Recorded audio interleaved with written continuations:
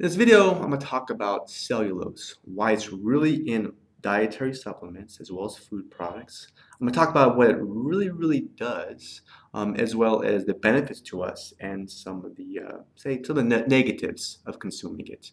Now, before I get started, uh, down below there's this link. If you click on it, I'm giving away a free uh, video-based guide on sharing a bunch of tips on, you know, using dietary supplements and alternative medicines. Now, in the world of plants, uh, cellulose really is used to strengthen the cell walls. Um, it is a carbohydrate and some animals can digest it, but us humans, we can't digest it. What this means is it's a dietary fiber. Now, for some people, it's really kind of difficult to understand how something we can't digest is so healthy for us. I'm sure you know that fiber is pretty healthy, right? Um, fiber can help with weight loss by making you feel full. If you don't believe me, just eat a bunch of oatmeal. Like, oh, I can't eat anymore. Uh, it really helps the digestive system. It can help with cholesterol levels, blood sugar levels. There's some other things it helps with too. Now, here's the thing. Even so, it's so healthy, most people really don't consume enough of it. WebMD recommends that somebody consume somewhere around 30 grams a day of fiber. And there's some people that estimate the average person in America only consumes 15 grams a day. Now, adding cellulose to food. The reason why it's in food is there's a lot of reasons, but one is to kind of add fiber to the food without really changing the taste and the flavor of it. So that's a good thing. Um, that's definitely a positive. Another reason it's added is to kind of bulk up the food, but not increase the calories. So if you see like weight loss products, there's a really good chance that has cellulose in it so that it could kind of make it make it a little bit bigger, bulk it up, you know, and not give you more calories. Now, another really great use for it is to thicken things up. Say like a sauce, right? Um, do you like runny spaghetti sauce? Probably not.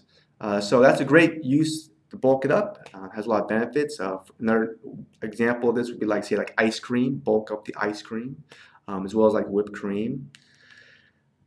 Now, so at this point, you might be wondering, okay, that makes sense how it's in food, but but what about dietary supplements? You know, why is it used in dietary supplements? And it's kind of similar to food. Um, it could be used to help combine vitamins. It can bulk up, um, help bulk up the product. For example, say um, a vitamin is, is, more of a liquidy form and natural. It can be used to, uh, to kind of bulk it up so it's easier to swallow and consume.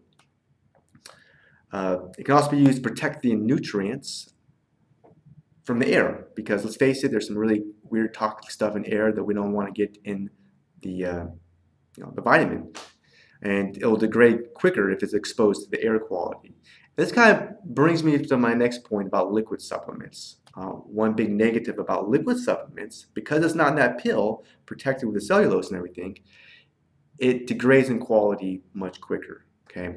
Now, I'm not sure you've ever seen this, but some companies market liquid supplements as being better for absorption. Okay. Well, according to Consumer Reports, this simply is not true, okay? Various studies show that absorption rates are actually the same, okay? And another big negative with, with liquid supplements is you can't really put enteric coating on them. And what that means is a lot of stuff actually gets destroyed by stomach acid when it comes to, like, say, like a multivitamin.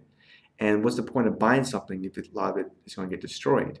Does it make any sense? So those are the big drawbacks of liquid supplements. But hey, it's not a pill. So there you go.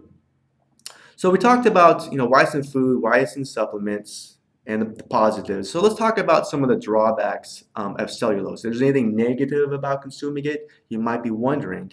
And the big risk comes down to consuming too much of it, okay?